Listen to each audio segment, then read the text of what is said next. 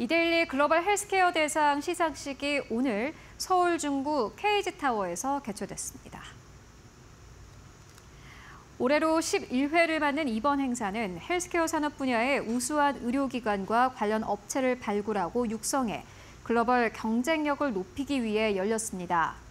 분당 재생병원과 우리들병원은 보건복지부 장관상을 수상했습니다. 이 밖에도 행사에서는 의약품 제조, 의료기기 산업 등 분야별 시상을 진행했습니다.